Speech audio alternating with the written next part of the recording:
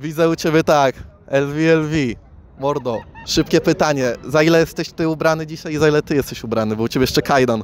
No to dobra. Czapka Supreme to jest 600 zł, w Aha. Dubaju kupiona. Kominiara nie wiem, z 5 dych chyba. Zar Alfa z 800, coś takiego. Aha. Koszulka nie wiem, jakaś czempiona za stówę. Yy, łańcuch z 5 koła 6. Okej. Pasek yy, 2300.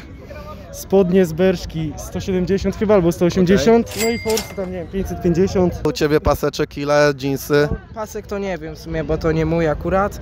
Y, Jeansy to w sumie to matka mi kupiła, więc nie wiem, koszuleczka 50 zł i tutaj chaining 100. I drill Drill? plus milion. No,